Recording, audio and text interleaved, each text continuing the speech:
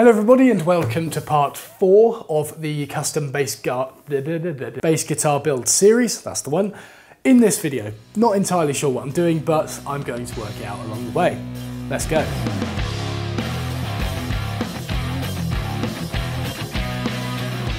Right, so the fretboard has glued on beautifully, no gaps whatsoever, which is exactly what we want. I may have done a little bit of a boo-boo and made it a little bit too thin straight out of the planer thicknesser because obviously the excitement of having someone else in the workshop yesterday kind of distracted me. But yeah, it should be thick enough. Uh, the issue is that I planed it down to five millimeters, but I need to add a radius to this later on, which is gonna make those edges look a little bit thin, but I shouldn't cut through, um, I hope but we'll see. So I think what I'm going to do first is just cut off all this excess ebony. Uh, I'm going to cut it off on the bandsaw so I can keep some of it for scraps later on rather than turn it all into shavings. And then I guess I'll add the radius to this fretboard.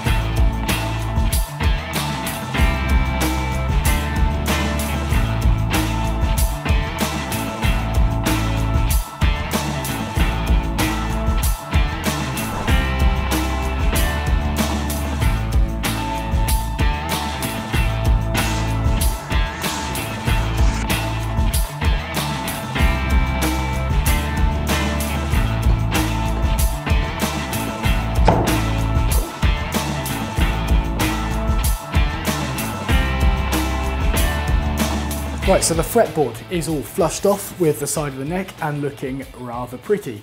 I've transferred the marks from the bottom of the guitar round the side, so I now know where the headstock starts, where the nut starts, where the bridge starts and everything like that. And I have also cut the relief for where the body is going to be joined, as well as put a very, very shallow radius on the bottom of the fretboard as well, because I think it looks pretty nice. So now what I need to do is start radiusing or cambering the fretboard. Now, this is going to be a compound radius, so towards the nut, this is going to be around a 10 inch radius is what I'm thinking. And at the other end of the fretboard, this is going to be a 15 inch radius, so a little bit wider. And these are quite shallow curves, but they're kind of what I've just ripped off another bass guitar design that I saw online. They use those radiuses, so I'm assuming they'll be all right. And I can't afford for these radiuses to be too tight because, like I said earlier, I planed this ebony a little bit too thin. So if the radius is really tight, then it's gonna make the edge of the ebony very thin there. So 10 inch and a 15 inch radius on this fretboard. But firstly, before I do anything, I need to make the templates to show those radiuses. So this is going to involve using a router with a trammel arm on it. So firstly what we're going to do is drill a massive hole in the center of a long bit of MDF. And then within my router, I'm going to fit this thing, which is a centering cone, which is made by Bosch. I'm sure there's other ones out there as well, but this is the one I've got. It fits straight into your collet, and this can go into quarter inch or half inch collets. And we'll tighten it down by hand. It doesn't need to be too tight in there. And then I'm going to put that directly on the hole and plunge the router. And that cone is going to center itself in that hole and get that collet nice and central above the hole. So there it is there. And then very carefully, I'm going to bring the router back up, being careful not to move it. As you can see, that that is perfectly central in the hole. Then I've got a tiny pencil here and there's two holes in the base where I'm going to put a little circle and that is where I know I need to drill and screw in order to attach this base to the bit of MDF and keep it nice and central. Right, and then take the motor out of the base. And then this would be much easier if you had a proper extension bit. I don't, so I'm just stacking up three of them, but this is going to allow me to go through there and screw a hole straight into the MDF. Be a little bit dodgy, but it will work, hopefully. So there we go, that is now fixed to the bit of MDF and nice and central on there too. So then, centering cone out of the router and we'll pop in the straight cutter that we need. Pop it back into the base. And then what we need to do is plunge it down so that it hits the workbench below and the cutter is nice and flush with the bottom of this. So then because for these templates they're going to be a 15 inch and a 10 inch internal radius, because it's internal I need to measure it from the far side of the router cutter. So simply going to hook the tape measure over the end of that and then mark 10 inches on here and 15 inches on here. Whereas obviously vice versa, if you were doing an external radius for these, you would have to measure it from the inside. It's a minimal difference in terms of the actual measurement, but depending on the size of the cutter you're doing and depending on how accurate you need to work to drawings and radiuses perhaps, you need to make sure that you're measuring from the correct side of the router cutter because it's very easy to get wrong. On my project Origin, which was a table, the legs on that required internal radiuses and they all needed to meet up perfectly. Whereas on my project Cognition, when I had to make the lamination templates for that, those were external radiuses, so I had to measure from the inside of the router cutter. Now I've got a random scrap of plywood here. I'm going to drill a hole in that, which is the same diameter as the holes that I drilled in the tramaline. And this is going to be double-sided tapes to my workbench. Make sure your bench is nice and clean of dust and rubbish like that, and then plant it firmly down. Right, that ain't going anywhere. In fact, I think that's going to be a bit of a nightmare to get off more than anything. So then, take the bit, out the drill, flip over your trammel arm, and we'll start with the 10 inch radius here. Pop the drill bit through that hole and line it up with the hole on this other bit, and that is going to be a swing for your 10 inch radius. So with that, I know that I need a second bit of plywood, which is now going to be our template, and that needs to go directly under here.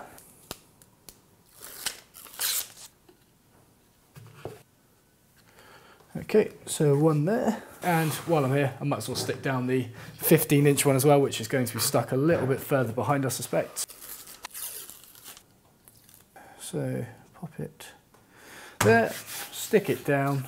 So we'll start with the 10 inch radius on here and I don't have my glamorous assistant that I did the other day, so I won't be able to have someone holding the extraction for me, but this is easy enough to operate one-handed. So extraction pipe here and then just plunge that in.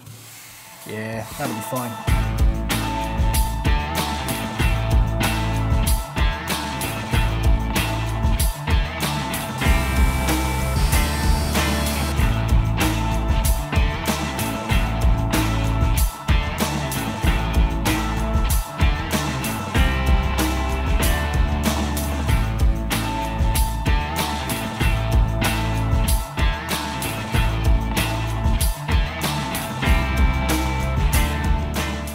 Okay, so now to put this compound radius onto the fretboard. Now, this is a tricky one to produce because just to reiterate what we're doing here, we've got a tighter radius up this end here and a shallower radius up this end here. So what I've done is sharpened a small curve on the end of my blade as I do every single time I sharpen the blade. And this is going to allow me to choose exactly where I want to take the shaving from on this fretboard. So in order to produce this radius, what we need to do is establish our center line right down the center of this neck and that is where we're going to be taking all of our middle shavings from. However, all of the shavings that we take towards the edge of the neck need to start following the angle of the neck itself. So in effect, we're planing in kind of a fan shape. So that means that the shavings are more concentrated up here and they're more spread out up this end here. If all of your shavings are parallel with that center line, so they don't follow these outside lines at all, they only follow that center line, you're going to get an even radius all the way along. So we're obviously going to go for the former here. We're going to go straight down the center and we're going to follow the edges of this neck, which is going to give us the compound radius. This is information that I got from Ben Crowe at Crimson Custom Guitars, so I'm not going to take credit for this. But yeah, here we go.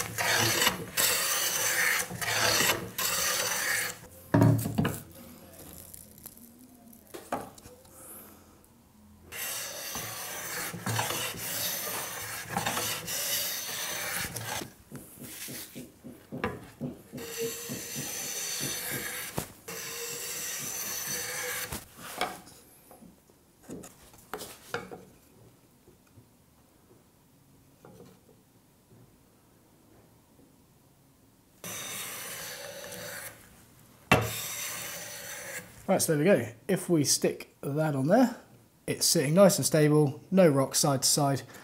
We have the correct radius. And similarly down the bottom here, again, we have the correct radius, so something a little bit more shallow.